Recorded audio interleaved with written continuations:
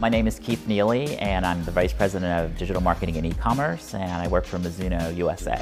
Mizuno is a uh, sporting goods company, so we're headquartered out of Osaka, Japan. We were founded in 1906 and focused primarily on baseball at the beginning.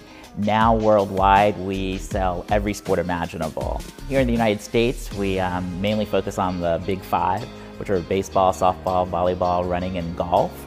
And uh, we just recently introduced uh, three other sports, so tennis, swimming, and soccer. They were a one-stop shop for us. Um, we needed to extend the capabilities of our own digital marketing team, helped us to expand our resources, but also brought to the table an education and a knowledge base that we didn't possess. That allowed us to expand our reach and have a better understanding of the opportunities that were available to us from a search engine perspective. The biggest KPI that we were focused on was first page rankings. We've watched that quadruple. Our initial goals were definitely met.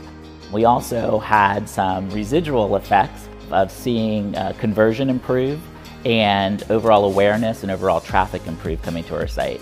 It makes us feel extremely comfortable in our partnership with them because of the great flexibility they have, the great team that they have, and the great technology they bring to bear.